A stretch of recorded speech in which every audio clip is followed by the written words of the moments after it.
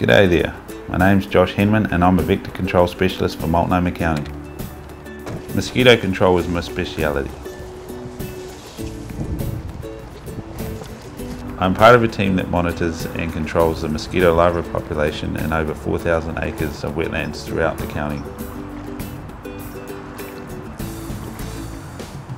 People say I sound like the Crocodile Hunter or Crocodile Dundee because of my accent.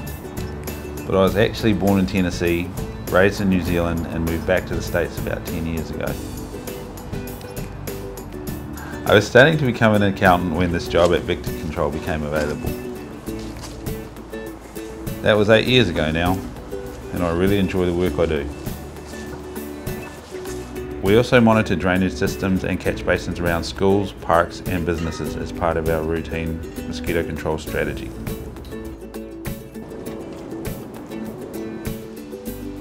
During mosquito breeding season, a good deal of my time is spent collecting larvae from various sites around the county.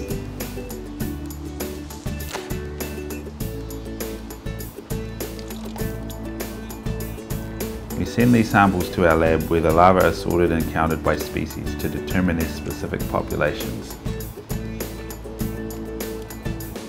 This helps us devise the best treatment plan for each site.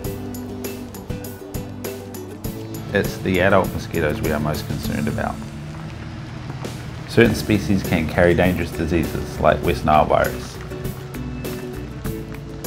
When it comes to treatment, one of the methods we use is to feed the larvae a naturally occurring bacteria that kills them. This bacteria is eco-friendly, as it doesn't harm the environment, fish, birds, animals or people.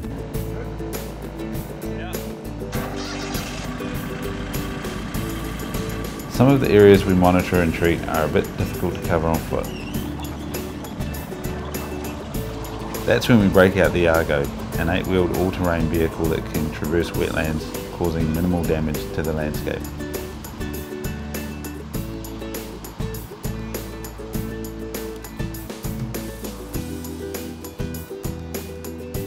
One of our goals at Vector Control is to reduce mosquito populations to levels that are safe and comfortable for the residents of Multnomah County. I'm happy to say that each year we successfully prevent over a billion mosquitoes from taking flight, and I feel pretty good about that.